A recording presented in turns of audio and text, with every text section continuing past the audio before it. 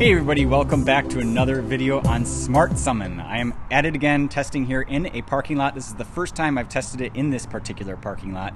My name is Jon. I live in the northwest suburbs of Chicago. I have been testing beta since October 24th, 2021.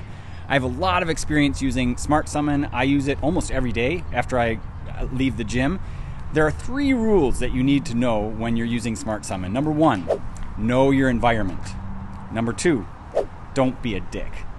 Know what's around you. Don't annoy other people in the parking lot, okay? The third rule is be ready to take over. This is closely related to the second one. Jump into your car if you need to. It's really important that you don't abuse Smart Summon in a private parking lot. So let's take a look at where we're at here and then let's go ahead and get started. Okay, so you can see my car right over there and this parking lot is not too busy. I'm gonna come over here and I'm going to summon the car right around here. So you have to know kind of the limit because you're restricted to 200 feet. So my car is straight down that row there. And as you can see, there's an arrow. Actually, you can go both ways there. So know your environment. Rule number one. If you're in a mall parking lot, for example, and it's a one way, well, this one, this path right here is one way. So these parking lots are not ideal because you could run into a situation where it goes the wrong way down one of these aisles. That has happened to me before, so be aware of that. I'm going to stand, let's just say, somewhere over here, and we're going to give it a shot. Let's come over, actually, let's come over to this this area here.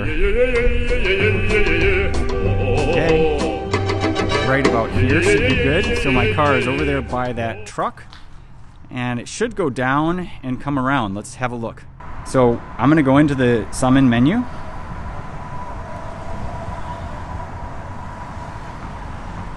Says connecting.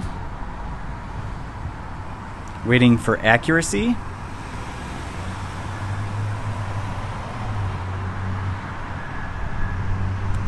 Says press and hold to engage smart summon. Tap arrows to move vehicle. So it says move to target. Okay, so I'm going to touch on the people icon. Let's take a look at where we are. That looks pretty accurate.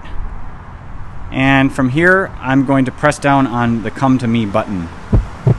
All right, so fingers crossed. Take a look at the path there. So it is coming down that aisle, taking the shortest route. And that is correct. You can go down that aisle there. So Actually, ooh, it's going around the main. Let's see what happens here. So, know your environment. Number two, don't be a dick. So, look around. Take a look at what's what's happening. Understand the surrounding area. There, that that truck is leaving. So that's one less variable. I guess that would have been interesting to try to turn it on while they were about to leave, but uh, didn't know they were leaving, obviously. So let's go ahead and turn it on. Here we go. Come to me. Push it down. Okay. So it says reverse, going in reverse. Hard for me to see the car. It's really, you want to be within line of sight of your car. And I can kind of see it here. It's a little bit tricky to see it, but looks like it's going in reverse. Okay. And still going in reverse.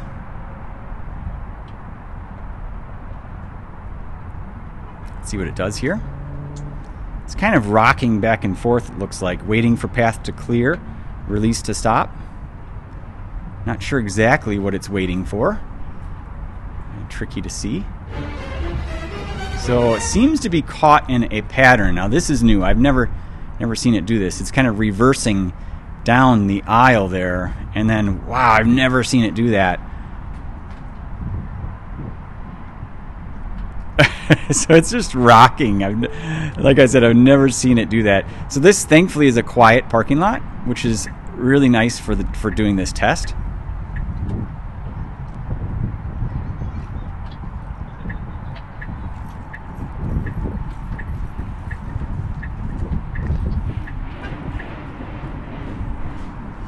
And coming up. So then what I can do is kind of jog backwards if I want it to pick me up a little bit further down, for example. So I'm kind of jogging backwards.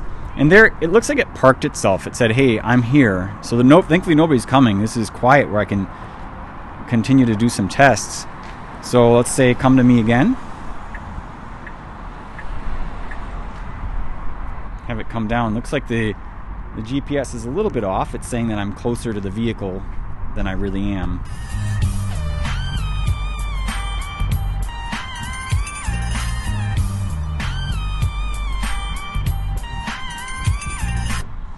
There we are. It says it has arrived. Summon complete. So at that point, I walk over to the car, and real simple, I just get in, and we're done. So this is a part where you have to be aware as well. Be ready to get in your car quickly. So whatever it takes to be able to do that. And for me, that's having my key card ready or my Bluetooth signal absolutely 100% sure of being able to connect quickly so I can get in the car. And to be ready to run out to your car in case it makes a critical mistake or ties someone up, you have to be aware of your surroundings, which again is rule number one. And you have to be able to get in your car quickly and then take off quickly. So practice that maybe in a quieter environment before you try it out in a parking lot where you're not as familiar. So thankfully in this area it's pretty quiet, pretty relaxed. In fact, no car has come up behind me in the past minute here. So uh, hope you guys enjoyed that video. If you have any feedback, if you have any comments, if there's anything extra you'd like to see, let me know. Subscribe if you want to see more Smart Summon videos and auto park videos and all that good stuff. Hope to see you guys in the next video. Thanks. Have a great day.